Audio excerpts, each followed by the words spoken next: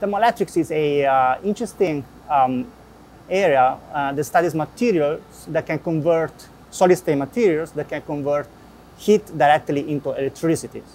And there are many applications that can use such technology. For example, wearable devices. We can power our consumer electronics just by using our body's heat. We can also, for example, power medical devices in remote areas. Another key application is waste is, is recovery of waste heat. More than two-thirds of power involved in uh, power production is wasted through heat. So by using thermoelectric materials, we can, in principle, harness some of that heat and put it back into the system as a form of electricity. So the net effect would be increasing the overall energy efficiency. And but really another really interesting application is for space application. For example, uh, a few decades ago, NASA sent to the outer space a, probe Voyager 1 and then Voyager 2. They just recently approached uh, the interstellar space. Uh, in those probes, um, the heat, uh, uh, the electricity generated by a thermoelectric material, where the heat source is given by a nuclear reaction, plutonium-238 specifically, and that's why that technology is called radioisotope thermoelectric generator. And when I visited JPL uh, a couple years ago, I got really fascinated to, uh, to, to see that what actually you're doing in a, in a computer simulations that generates just a picture like this can really be translated into a real life application. Uh, it's even more than real life. It's like outer space. I'm very grateful to JPL that is now generously uh, funding my research. One of the main uh, application of wearable devices based on thermoelectric materials is in remote areas where sometimes the infrastructure is not really developed.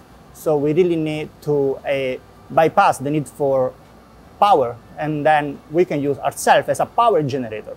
And then so the patient, for example, in a remote hospital can use his body's heat to power, for example, a device that measure the brain activity. And I think that is a very interesting area that perhaps they, um, deserve more attention. My specific area in thermoelectrics is nanostructure thermoelectrics. Uh, in fact, to have a, an efficient thermoelectric material, we must have a material that has a high electrical conductivity and low thermal conductivity. And it's very hard. Nature was not very generous in providing us with such a material, so we had to hack it and create a nanostructure that um, it happens can decouple the electrical and the thermal conductivity of a material. To model such a, uh, a material, though, is very complicated because what had been known for two centuries, Fourier's law is very good in modeling heat transport, but only at the macro scale. As soon as we shrink to the nanoscale, as soon as we are dealing with a material whose characteristic length is about, let's say, 100 nanometer, then diffusive law is challenged. And we need to use another uh, physical description. And this is due to the quantum mechanical behavior of matter at the nanoscale. In this case, is given by phonons that are quantized lattice vibration.